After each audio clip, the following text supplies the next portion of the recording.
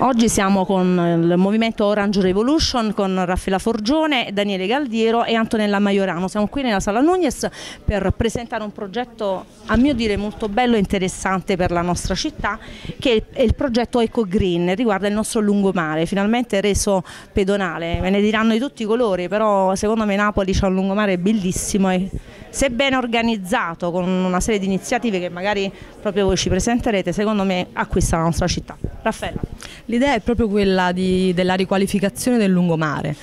Però il progetto che presentiamo oggi non è un progetto urbanistico, è un progetto di partecipazione perché crediamo che il lungomare possa diventare veramente il lungomare più bello e più eco del mondo se ha qualcosa di speciale e diciamo che quest'anima speciale forse sono proprio i napoletani a poterla diciamo, conferire ad un progetto e quindi eh, la nostra idea è quella di eh, coinvolgere tutta la cittadinanza nella progettazione del lungomare. Ovviamente crediamo che gli spazi verdi e la mobilità siano l'elemento come dire, principale, permanente, intorno al quale poi tutto il resto deve ruotare e che possano essere organizzati degli spazi architettonici eh, all'insegna ovviamente di un'architettura temporanea, quindi molto mh, trasparente, poco impattante dal punto di vista ambientale, visto che si tratta di una zona vincolata, dove però ci siano spazi liberi per i giovani, dove ci siano luoghi di incontro, dove semplicemente ci si possa fermare fermare per, eh, per, leggere un libro, per incontrare un amico, per uh, scambiare due chiacchiere, per, per, prendere il sole, esatto. Quindi um, in questo modo la città può ritrovare un, uh, un suo luogo diciamo, significativo di incontro che attualmente non ha e ovviamente crediamo che uno dei posti più belli di Napoli abbia come dire, il diritto di diventare anche uno dei posti più belli al mondo e quindi che faccia da richiamo anche per i turisti.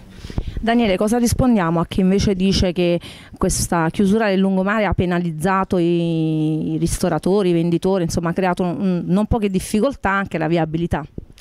Tra poco vedremo una cosa molto interessante che è un'idea di trasformazione urbana nuova in cui si coinvolgono le persone che abitano in città, per cui l'idea non è quella di tagliare fuori alcune categorie rispetto ad altre, ma quella dell'idea nuova della progettazione partecipata, nuova a Napoli, perché in realtà in altre parti del mondo,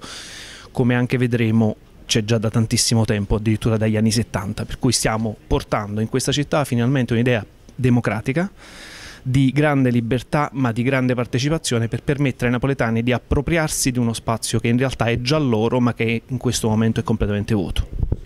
Antonella, ancora una volta una proposta e una bella iniziativa di Revolution, Orange Revolution, che dentro trattiene anche la parola love, l'incontrare, quindi l'amore, l'amore per la civiltà, i cittadini e la propria città. Infatti ehm, io penso che l'occasione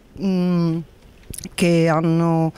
ehm, che, che, abbiamo tutti ma che fondamentalmente hanno anche le, le istituzioni è quella di eh, raccogliere, mettere ehm, a sistema tutta una serie di iniziative che in questi mesi sono state portate avanti da associazioni le più diverse che hanno dimostrato prima di tutto l'amore per la loro città e il desiderio di fare qualcosa di diverso perché, mh, e quindi è necessario che ci sia mh, la capacità di cogliere questi desideri e questi bisogni, metterli in qualche modo a sistema e con l'aiuto di professionisti, diciamo degli esperti nei vari campi approfittare di questa, della capacità creativa che poi il napoletano ah, è proprio ha. l'incidenza geneticamente ce l'ha sì. Quindi spero che questa sia la prima di una serie di incontri. di incontri. La risposta del comune, il nostro comune.